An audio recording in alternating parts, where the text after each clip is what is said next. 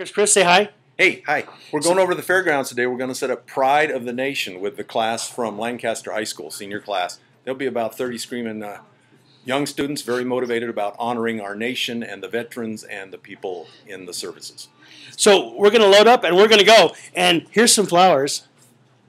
Okay, say hi, everybody. Say bye, everybody. Hi. Look at the roses. Look at the roses. The roses. Oh, roses. Yeah, from South America. Freedom Wow. roses. How appropriate. Beautiful, huh? Freedom. Why do they call it freedom?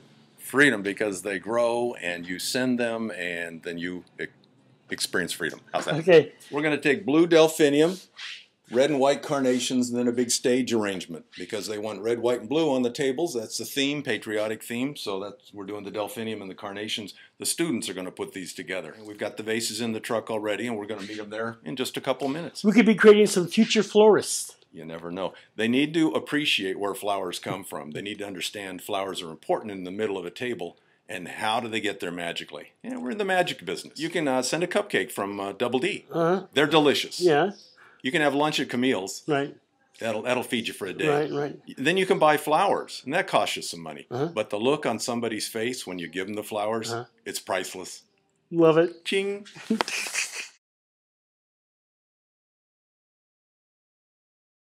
Antelope Valley, we're actually uh, on the job with Chris Spiker, the Antelope Valley florist, the AV florist, the flower florist. I guess we consume it all, the Palm Palmdale Lancaster florist. Antelope Valley, we're actually uh, on the job with Chris Spiker, the Antelope Valley florist, the AV florist, the flower florist. I guess we consume it all, the Palm Palmdale Lancaster florist. He's everything. And today we're almost Kern County florists. Wow! And we're on our way to the fairgrounds, uh, where Chris is going to not only he's multitasking, um, he's he's uh, delivering flowers Yeah. uh, that are being sold for about what he's in them. Yeah. So figure that one out. And then and then he's going to teach some high school students, Yep.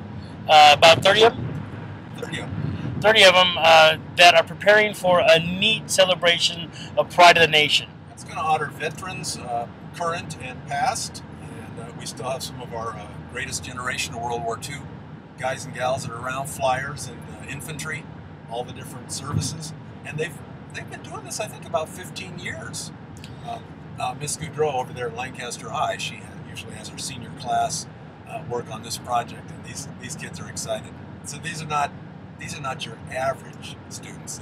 These are exceptional young men and. So here we are at the Poppy Pavilion before before the students get here. Yeah. Notice how nice and quiet it is. Yeah. It's very peaceful. Go around and look at the displays. This is a traditional event. They're thanking the people that have uh, served our country, that have uh, many of them paying the ultimate price. Some of them still carrying all that stuff with them from all the different wars and uh, conflicts that we've been in through the years.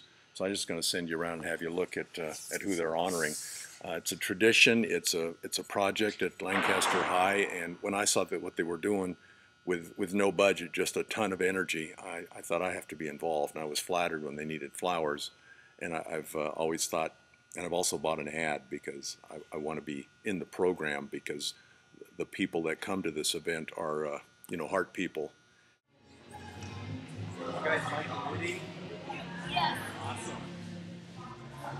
Okay, so it's going to be assembly line. We've got 70 arrangements to do. I think there's like 66 tables. I have the I have the vases. they're already taped, and they're in the guys' room. So that'll be a guy's job. Just two at a time under the sink, about three quarters full, and then maybe we'll set all the full ones on that table. They are glass, so don't drop. them. They don't bounce. Okay. There are a couple extras in case you want to practice that theory. But fill 'em- we'll fill them all with water. And then the next stage, I brought some little snippies, but you just want to watch your fingers. It's going to take about three pieces of uh, this leather fern. And I'm cutting them, cutting them a couple of times. The snips are good for you guys. I like to use a knife. Oh, this is jazzy music for doing this. It's going to take about three stems. Can see the many of the off or cleaned them or anything. So some of these, the rubber bands haven't been cut on the bunches. That's what the scissors are for. I brought along some extra scissors. Whoops. Try and do as much trash as we can into the trash can. So I was figuring out how long they need to be. You don't want to make them too short, right? You can always make them shorter, but you can't make them longer. So So you thought this was going to be flower design, and it's uh, entomology, where words come from. And these flowers, delphinium, they come from the Carpinteria area. Carnations are from Carpinteria. Yeah, see, there's Barry White again. Carpinteria, over on the coast. So see if the carnations were a little longer, they'd look better, like that one.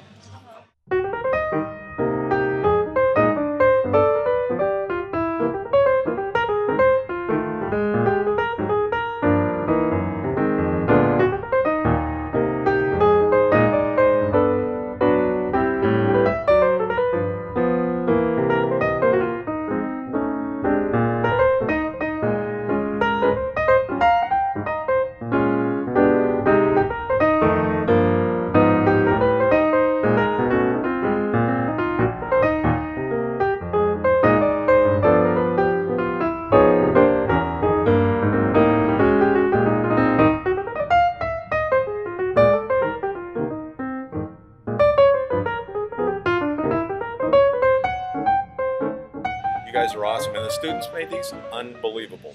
So see, the three that I did will just kind of blend in, and I won't get in trouble because. So I'm going to leave a couple on the tables for you guys to kind of match up. Questions, answers.